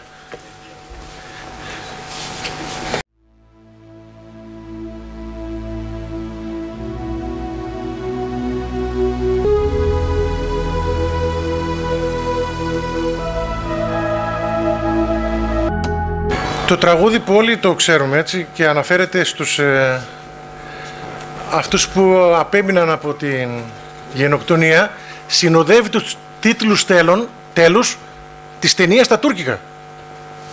Δηλαδή η ταινία που προβλήθηκε στους τουρκικούς κινηματογράφους έχει το τραγούδι «Την πατρίδα με έχασε».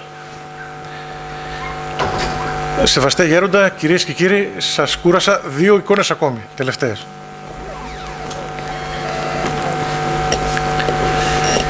Ίσως διακρίνει κάποιος εδώ πέρα τον Οικουμενικό Πατριάρχη Αθηναγόρα.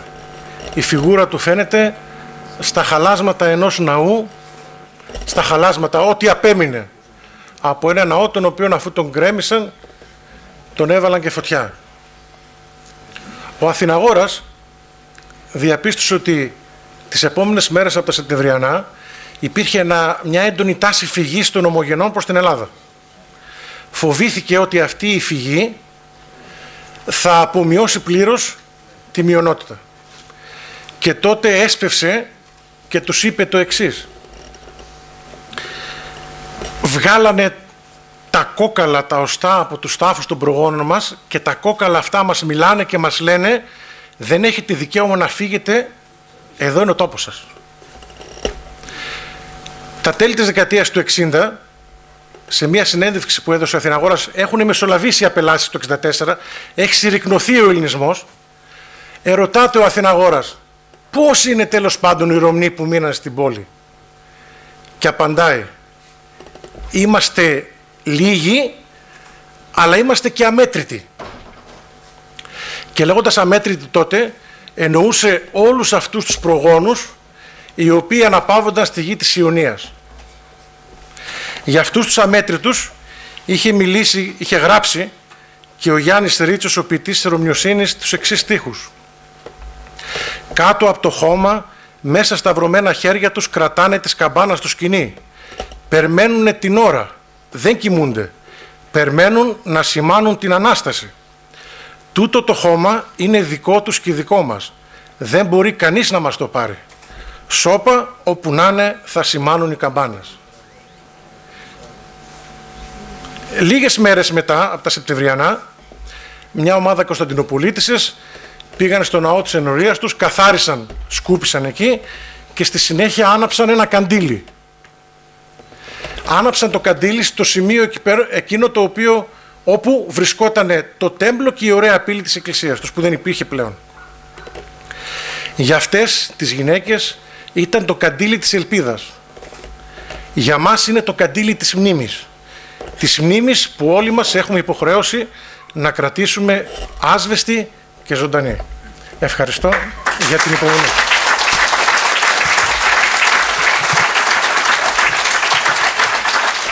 Ευχαριστούμε τον ε, αγαπητό Νικόλαο Τσιρέλη για την εξαιρετική παρουσίαση του θέματος των γεγονότων που συνέβησαν πριν από 60 χρόνια στην πόλη.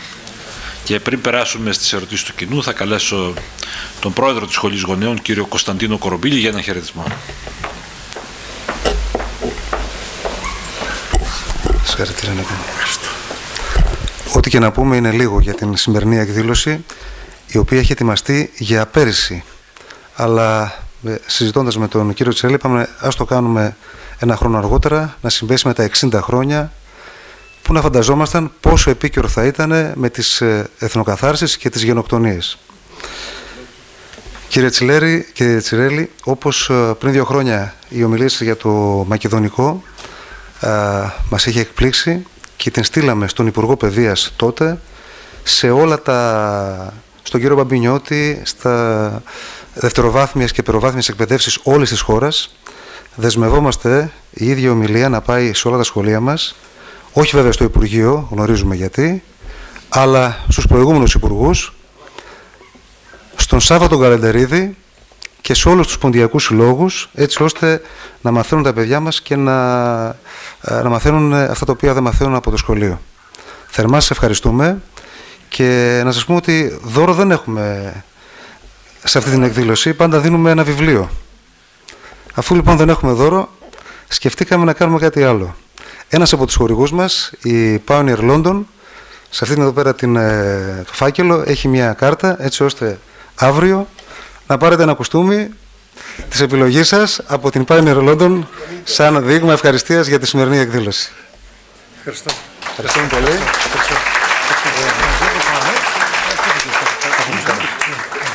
Ευχαριστούμε θερμά και την Pioneer London.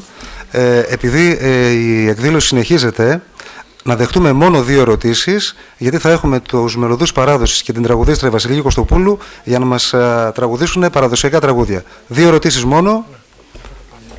Ναι, ανεβείτε πάνω. Ο κύριος Ατραζέμιν. Παρακαλώ, αν υπάρχουν ερωτήσεις, ο κύριος Ατραζέμι. Δεν θα κάνω διάλεξη εδώ. μέσα από το αφήγημα μπορεί κανείς να διαπιστώσει το τι συνέβη εκείνη την εποχή. Αυτό όμως κατά την ταπεινή μου γνώμη δεν είναι αρκετό. Θα πρέπει να απαντηθεί γιατί πάντοτε η ελληνική διπλωματία βρίσκεται βήματα πίσω, όχι μπροστά, από την τουρκική διπλωματία. Και δεν είναι κατά την γνώμη μου επαρκής η δικαιολογία ότι δεν είχαμε κεφαλή τη συγκεκριμένη περίοδο, διότι όλα αυτά δεν μπορείτε να προετοιμάστηκαν ούτε σε ένα μήνα, ούτε σε δύο μήνες, ούτε σε τρεις μήνες. Είχε βάθος χρόνου που γινόταν προετοιμασία για να γίνουν όλα αυτά τα γεγονότα. Πού ήταν λοιπόν η δική μας αντικατασκοπία και πού ήταν η δική μας η ελληνική διπλωματία για να τα προλάβει αυτά; Και τι θα γίνει στο μέλλον, γιατί πολύ φοβούμε ότι έχουμε ζωφερό μέλλον εάν εξακολουθήσουμε που δυστυχώς εξακολουθούμε με όσα ακούμε να έχουμε τέτοιου είδους διπλωματία. Ξεκινώντας από το τελευταίο, όντως η ιστορία επαναλαμβάνεται και άμα δει κανείς φέτος, το 2015, είχαμε πάλι επεισόδια όπου κατέστρεψαν ελληνικά ρωμαϊκά νεκροταφεία και βάλανε εκρηκτικούς μηχανισμούς ε, συγκεκριμένα έξω από την Αγία Τριάδα στο Ταξίμ. 6 Ιουνίου του 2015 είναι αυτό που σας λέω.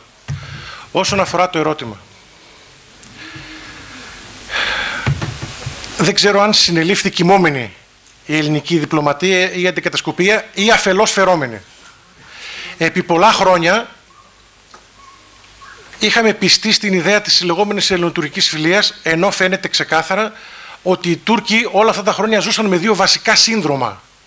Το σύνδρομο της συνέχειας του Κομιτάτου Ένωσης και Πρόοδος του 1908, δηλαδή να συνεχίσουν τη δουλειά που είχαν ξεκινήσει οι Νεότουρκοι, και το δεύτερο σύνδρομο ήταν το σύνδρομο της συνθήκης των Σευρών. Φοβόντουσαν συνεχώς ότι θα έρθουν οι Έλληνες ή θα έρθουν οι όλοι οι γείτονες γύρω-γύρω και θα τεμαχίσουν την Τουρκία όπως συνέβη τότε με τη συνθήκη των Σευρών. Δεν είναι μόνο η χλιαρή, όπως χαρακτηρίστηκε τότε, αντίδραση της ελληνικής πολιτείας αποτέλεσμα εσωτερικό. Την εποχή εκείνη στις Ηνωμένες Πολιτείες υπουργός εξωτερικών ήταν ο Τζον Φώστερ Ντάλες. Αυτός έστειλε τότε δύο επιστολές, μία στην Ελλάδα και μία στην Τουρκία. Δυστυχώς είναι σχεδόν ταυτόσημες. Σε σημείο δηλαδή που να ταυτίζεται ο θύτης με το θύμα. Και τους καλεί με τις επιστολές αυτές, κοιτάξτε λέει, έχετε εδώ πέρα και 25 χρόνια, εννοεί από το 30 μέχρι το 55, όπου είστε σε μια καλή πορεία, μην τη χαλάσετε τώρα. Προεκλήθηκε αγανάκτηση στο Ελληνικό Υπουργείο Εξωτερικών από την επιστολή αυτή. Αλλά η αντίδραση και στη συνέχεια, αφού ανέλαβε και ο Κωνσταντίνος ο Καραμαλής, πάλι ήταν χλιαρή. Η Ελλάδα απείλησε μόνο ότι θα εξέλθουμε του ΝΑΤΟ.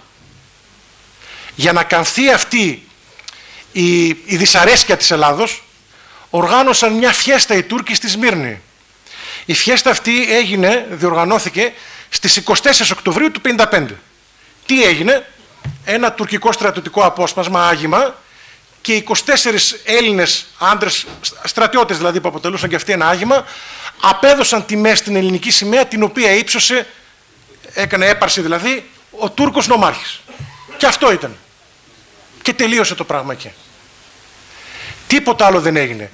Και συνέχισε η Τουρκία τις εργασίες όλες αυτές τις οποίες εξιστορήσαμε. Ένα χαρακτηριστικό στοιχείο το οποίο δεν ανέφερα αλλά ταιριάζει τώρα να το πούμε. Από τα αρχεία του Ρεπουμπλικανικού κόμματος το Ρεπουμπλικανικό κόμμα ήταν το κόμμα του Κεμάλ το οποίο μετά το Κεμάλ στο οποίο ηγήθηκε ο Ισμέτιν Ονού. Το 1947 καταγράφεται έκθεση μέσα στα αρχεία του Ρεπουμπλικανικού κόμματος η οποία γράφει το εξής. Ελπίζουμε και ευχόμαστε όταν θα συμπληρωθούν τα 500 χρόνια από την άλωση, δηλαδή το 1453-1953, να μην υπάρχει ούτε ένας Ρωμιός στην πόλη. Έπεσαν μερικά χρόνια έξω. Αλλά από τη δεκαετία του 40, σας είπα το 1947, ξεκίνησαν να τα επεργάζονται αυτά. Τώρα, η ελληνική διπλωματία, κοιμόμενη ή αφιλώς φερόμενη, αφαιρός φερόμενη, δυστυχώς αυτό ήταν. Ας κοιτάξουμε από εδώ και στο εξής να μην μας ξαναπιάσουν τον ύπνο. Βέβαια τώρα ίσως να είναι άνευ επιστροφής η κατάσταση η οποία δημιουργήθηκε με την ελληνική μειονότητα κοινότητα στην πόλη, αλλά ο κύριος Κορομπίλης θα ρωτήσει κάτι. Ε, ε, γέροντα, ελάτε εσείς. Και μετά εσείς. Θα ήθελα να επενέσω τον κύριο Τσρέλη για όλη αυτή την υπόθεση και μάλιστα τουλάχιστον για μένα ήταν άγνωστα αυτά εν πωλής. Και να επισημάνω τρία πράγματα. Πρώτον, κάτι που μας είπε το Πατριαρχείο όταν είχαμε πάει μια περίοδο, μια υπόθεση της ελληνικής κυβέρνησης την εποχή του Γεωργίου Παπανδρέου. Τα απομεινάρια που έμεναν στην πόλη, οι Τούρκοι θέλησαν να συμφωνήσουν, μας έλεγαν, με τους Έλληνες τι να τα κάνουν. Και ο Γιώργος Παντρέου απήντησε, με θλίψη μας το λένε αυτό. Δεν με ενδιαφέρει, κάντε ό,τι θέλετε. Να πάω λίγο πιο μπροστά. Ο Καποδίστρας έλεγε ότι εγώ ξέρω όλες τις αυλές της Ευρώπης και ουδεμία αυλή της Ευρώπης συμπαθεί την Ελλάδα ούτε στις ευτυχίες της ούτε στις δυστυχίες της.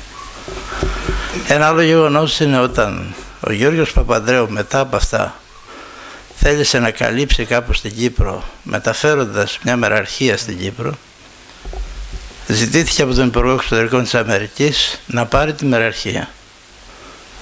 Και απήντησε ο Παπαντρέου ότι δεν μπορώ να πάρω τη μεραρχία γιατί είμαστε δύναμες που προστατεύουμε την Κύπρο. Και το απαντά ο Αμερικανός μην ξεχνάτε κύριε Πρόεδρε ότι η γείτον έχει περισσότερα τάγκς, περισσότερα αεροπλάνα, περισσότερο στρατό. Και απήντησε ο Παπαντρέου, ναι κύριε Υπουργέ, το ξέρω αυτό, αλλά και εσείς μην ξεχνάτε ότι η γείτον της γείτονος έχει περισσότερα τάγκς, περισσότερα αεροπλάνα, περισσότερο στρατό. Όλοι χάρηκαν την εποχή εκείνη. Στην Αμερική οι Έλληνες ζωοκράβγασαν, στην Ελλάδα όλοι, εκτός από τον Παπαντρέου, που είπε είναι το τέλος μου. Νομίζω ότι η δυσκολία για την Ελλάδα δεν είναι μόνο η έλλειψη της διπλωματίας της Ελλάδος. Είναι βασικό αυτό, γιατί δεν ζητάμε. Τίποτα δεν ζητάμε. Συνεχώς λένε οι πολιτικοί μας. Δεν ζητάμε τίποτα. Εμείς ένα έθνος, ένα γένος που είχε κατακτήσει την οικουμένη ήρθαμε σε μια περίοδο που δεν ζητάμε τίποτα. Και οι άλλοι όλοι ζητάνε από εμάς. Αυτό νομίζω είναι το μεγαλύτερο ανόητο, ας πούμε, φεύγμα των ενωτέρων Ελλήνων και μάλιστα των κυβερνώντων. Επίσης, είναι η μανία των ξένων που δεν φοβούνται τη μικρή Ελλάδα που είναι μια κουτσουλιά, αλλά φοβούνται την ιστορία της. Έλεγε ο Νίτσε, ο λόγος που δεν μπορούν να χωνέψουν την Ελλάδα οι ηγέτες της Ευρώπης είναι διότι τη βρίσκουν μπροστά τους συνεχώς. Και επειδή δεν μπορεί να παράξουν τίποτα πιο σπουδαίο αυτοί, όσοι την θαυμάζουν, την θαυμάζουν στην αρχαιολογική της διάσταση βέβαια, αλλά οι περισσότεροι δεν θέλουν να τη βλέπουν. Είναι γεγονός αυτό και όσο και αν δεν θέλουμε να το πιστέψουμε και όσο και αν οι πολιτικοί μας σπουδάζοντας στη Δύση θέλουν πάση θυσία να μας φέρουν στη Δύση ενώ ανήκουμε στην Ανατολή είναι ένα γεγονός το οποίο πρέπει να το πιστέψουμε τουλάχιστον να το υπομείνουμε και να ελπίσουμε στο μέλλον ότι θα φανούν κάποιοι άλλοι πολιτικοί που θα δώσουν άλλο στίγμα στην Ελλάδα. Παρακαλώ, μία ερώτηση ακόμα.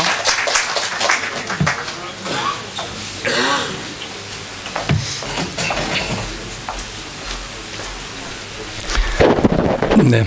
Θερμά συγχαρητήρια κύριε Τσιρέλη για την πολύ ενδιαφέρουσα ομιλία σας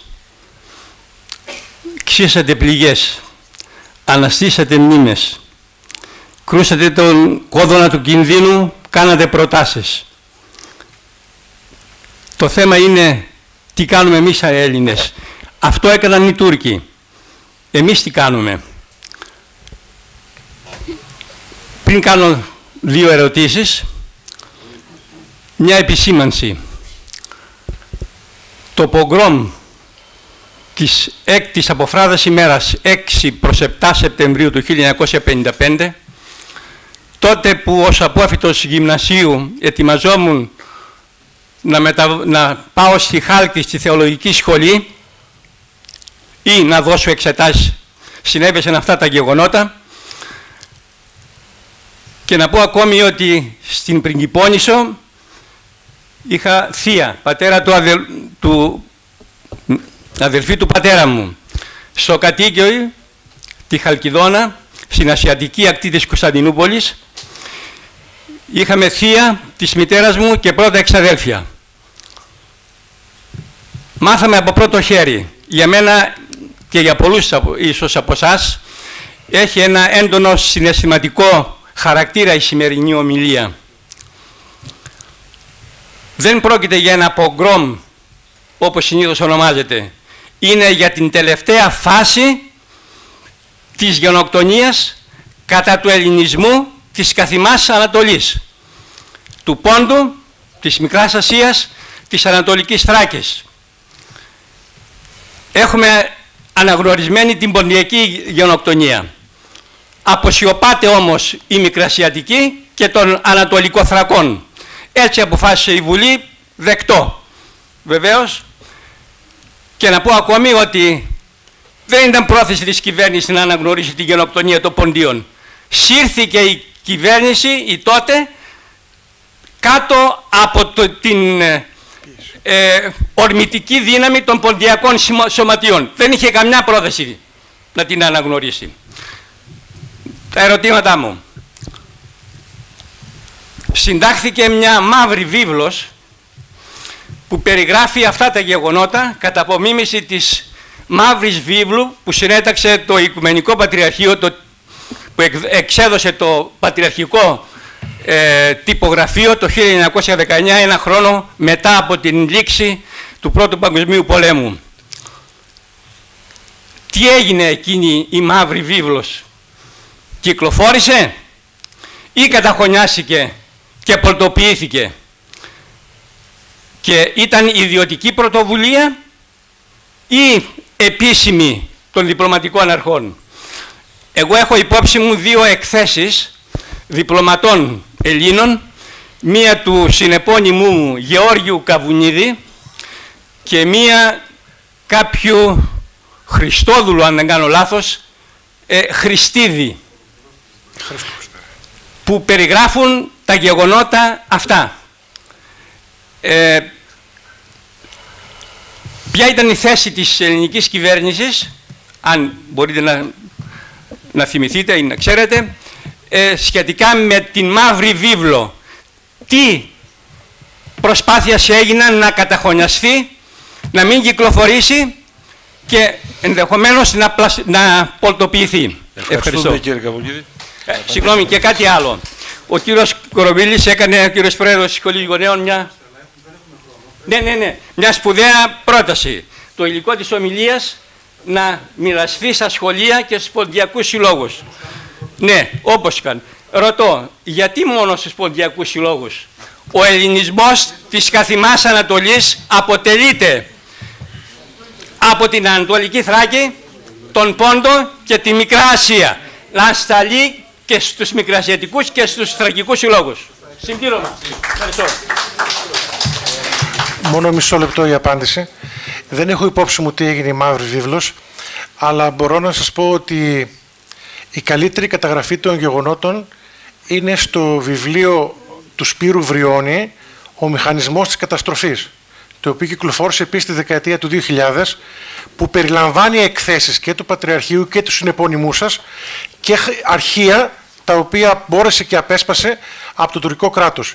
Είναι η πιο πλήρης αναφορά με στοιχεία, με ονόματα και με ποσά τους Σπύρου Βριώνη.